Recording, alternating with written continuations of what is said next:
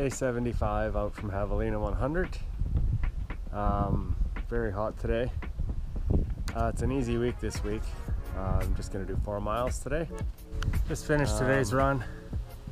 Ended up doing five miles. Uh, felt pretty good once I got going. Legs are pretty sore. Lucky's got something to say about that. Uh, good day. On to tomorrow.